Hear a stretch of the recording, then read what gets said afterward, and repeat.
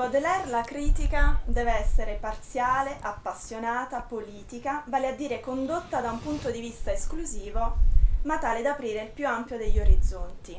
Qual è lo stato della critica attuale in Italia sull'arte e sull'architettura? Quello che ha chiuso tutti gli orizzonti.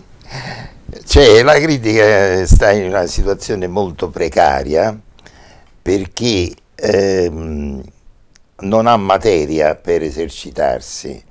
Noi viviamo una crisi profonda dopo la generazione dei maestri in architettura, eh, il movimento moderno per le arti figurative, eccetera. Adesso stiamo proprio eh, navigando nell'assenza di senso, no? il non senso che, che domina tutto quanto. Per cui eh, innanzitutto c'è l'oggetto della critica, l'arte che sta venendo meno, se non addirittura venuto meno. Io sto preparando un, un saggio che si chiama uh, Arte contemporanea, un riesame e il sottotitolo, a meno di non cambiare idea, il sottotitolo dovrebbe essere Dalla rivoluzione all'indifferenza, cioè questa arte contemporanea che è partita con l'idea di cambiare il mondo adesso invece è, è diventata così priva di senso comune che la gente si disinteressa completamente e ha trasferito il senso estetico che è innato, la fruizione estetica, in altre cose, la televisione, eh, eh, la musica dei giovani, questi concerti affollatissimi, eccetera, che ovviamente non hanno nulla a che fare con le vecchie eh, vie delle arti figurative. C'è un brano molto bello tratto da un suo libro, Il gusto, del 2010, che dice ho notato che fino a pochi anni or sono il pubblico delle mostre d'arte poneva agli addetti ai lavori, talvolta maliziosamente, la domanda che significa, riferendosi alle opere e alle tendenze. Oggi, anche quando entra in una sala d'esposizione, non chiede più nulla, fingendo di aver capito tutto da solo o di aver raggiunto una saggia indifferenza. Cosa è successo? E lei eh, dice bene, cioè, è bene eh, eh, aver citato questo brano perché è proprio quello che penso. È successo che eh, la gente prima trovava nell'arte specie del passato, non quella eh, contemporanea, trovava un, un, appiglio di una sua attitudine.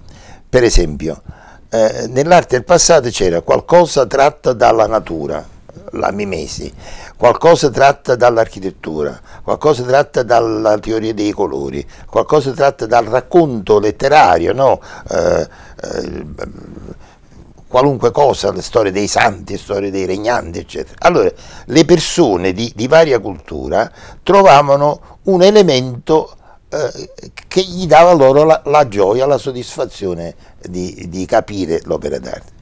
Con l'arte contemporanea, questo prima de, della fase diciamo assolutamente priva di senso attuale, ma dico l'arte contemporanea di quando io ero giovane o, o ancora prima, negli anni 20 e 30, eh, ha eliminato questo, questo, codice multiplo che raccoglieva varie, eh, varie tendenze, varie pulsioni, eccetera, e, e, si è specializzata. Allora, eh, i, i, i, cubisti si sono specializzati nel tradurre il mondo in geometria, i, i futuristi nel tradurre la realtà secondo il dinamismo, l'espressionismo secondo eh, la visione di un sentimento espresso con, eh, con tutta la, la, la, gravità del caso.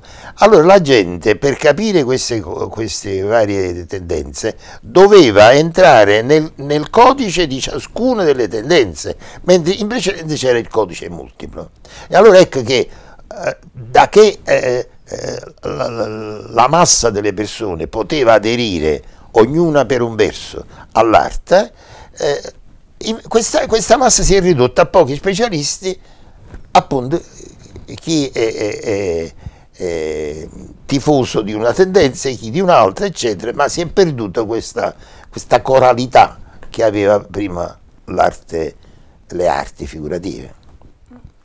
continua a scrivere, contribuisce all'indifferenza che attualmente il pubblico nutre verso l'arte, la vera o presunta mancanza di abilità da parte degli artefici. Certo, ehm, quando si dice eh, eh, questa cosa è fatta ad arte, vuol dire che è fatta nella maniera più perfetta possibile, no?